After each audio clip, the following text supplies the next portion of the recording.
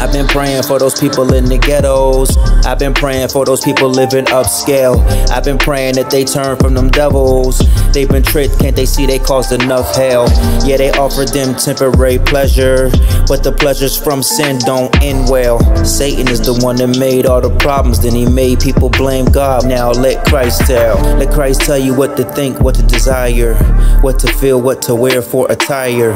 Compare everything to his teaching and commands, then you'll see how he runs his empire. And not only his empire, but the universe. I mean, you'll learn how God talks and works. Because God is a spirit and his word, and he does nothing without his word. His words first. It's John chapter 1, every verse. Christ is the word, he made heaven and earth. So if you really want to know God and what he's saying, then read the whole Bible while praying like church.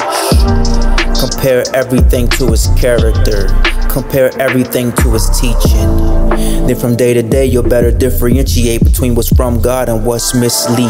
I've been praying for those people in the ghettos. I've been praying for those people living upscale. I've been praying that they turn from them devils. They've been tricked, can't they see they caused enough hell? Yeah, they offered them temporary pleasure, but the pleasures from sin don't end well. Satan is the one that made all the problems, then he made people blame God. Now let Christ tell.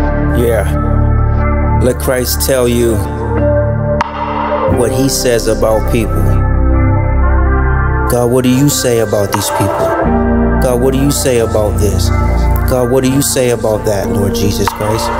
What do you say about what I'm feeling, what I'm hearing, what I'm seeing? Let Christ tell you what to think, what to desire. Pray constantly in your heart. Inquire. The more you know His Word, the more you know Him.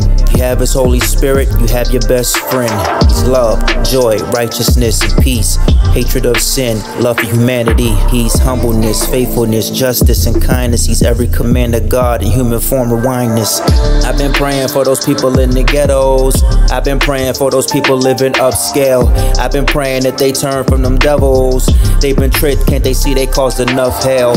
Yeah, they offered them temporary pleasure, but the pleasures from sin don't end well. Satan is the one that made all the problems, then he made people blame God. Now let Christ tell. I've been praying for those people in the ghettos. I've been praying for those people living upscale. I've been praying that they turn from them devils. They've been tricked, can't they see they caused enough hell? Yeah, they offered them temporary pleasure, but the pleasures from sin don't end well. Satan is the one that made all the problems, then he made people blame God. Now let Christ tell. Welcome Christ and his angels. Let God tell us his standard on what's right and wrong in life. God's about to judge soon. He's going to appear with all of heaven, and he's going to reign on the earth. Avoid eternal torment by turning from sin and turn to Jesus Christ now while there's time.